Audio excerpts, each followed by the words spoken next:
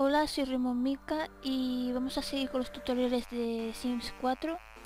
Os voy a enseñar a crear un cuadro con vuestra imagen que os guste, una imagen que, que queráis poner en un cuadro.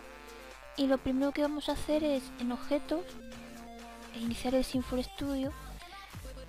Yo tengo la versión Joy, aunque tengo también la última que es la Sugar, que en esa versión, si no lo sabéis, podéis ver todo el contenido que tenéis en la carpeta mods y eliminarlo o, ver lo que tenéis. Eh, vamos a empezar dándole a objetos aquí. En los 3 eh, yo sé hacer cuadros con tocando la mes, pero aquí todavía no lo he intentado. Si consigo hacerlo, pues ya haría un tutorial un poco más difícil, porque se necesitaría el blender. Pero ya digo, si lo hago ya, ya haría el tutorial. Me tarda un poco en cargar los objetos, no sé por qué. Y bueno, mientras os voy a enseñar la foto que voy a utilizar yo de Kiari Pamio Pamio una cantante japonesa que se ha disfrazado de Betty Boo en esta foto. Y bueno vamos a ver si ya ha cargado. Bueno parece que por fin ya ha cargado. Voy a elegir un cuadro. Da igual el que sea. Yo elegiría según como sea vuestra foto.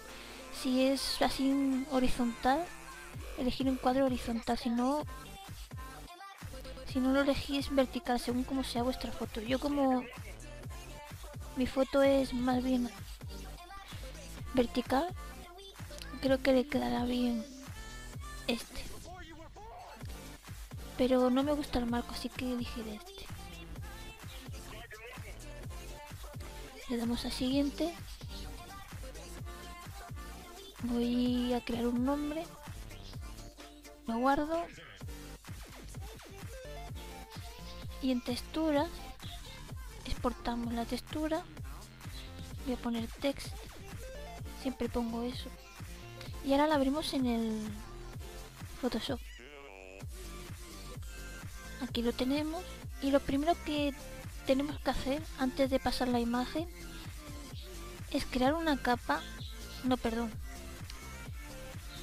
duplicar esta capa porque esta está con candado y no se puede editar le voy a dar como más contraste. Si se ve mejor. En saturación, al igual que os enseñé con las camisetas a cambiar los colores, podemos cambiarlo así. Y como Pamio, la foto de Pamio es, es como con colores rojos, le voy a dejar este color. Y ahora sí, Sería un poco más rosa, pero si no, no resaltaría la foto.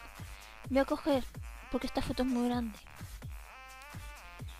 Por ejemplo, una cosa así.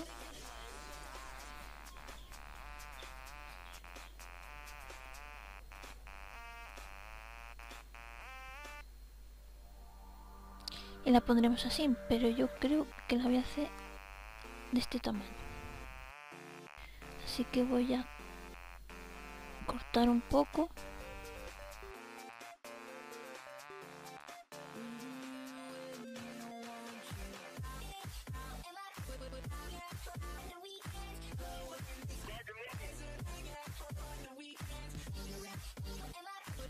Si pasa un pelín tampoco pasa nada. Una cosa así. Es que parece que el cuadro como que está torcido. No sé por qué Está como torcido. Lo dejaremos así. Lo rota un poquillo. Y ahora para darle como un volumen, como en el cuadro de abajo, voy a poner opciones de fusión. Le voy a poner un resplandor interior, me parece mejor. Y le voy a poner un poco de oscuro. Para darle un efecto como de una cosa así. Yo creo que ahí que está bien. Y ahora pues lo único que voy a hacer es darle contraste a la foto. Un poco no mucho. Y como la he hecho más pequeña seguro que se ha puesto más borrosa así que le voy a dar un poco de enfoque de máscara de enfoque acoplar imagen.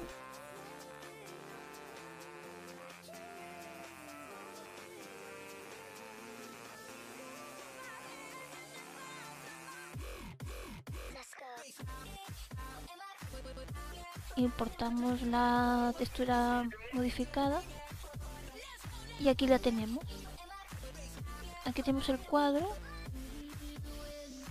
Podemos crear más añadir más muestras y poniendo cuadros este como es rojo pues le voy a poner rojo este cuadro lo dejaré o bien en mi página o en la descripción de vídeo por si lo queréis descargar y aparte me parece a mí que haré unos cuantos más y nada si os ha gustado eh, dale like y si no estáis suscritos pues suscribiros. Nos vemos en el siguiente tutorial. Adiós.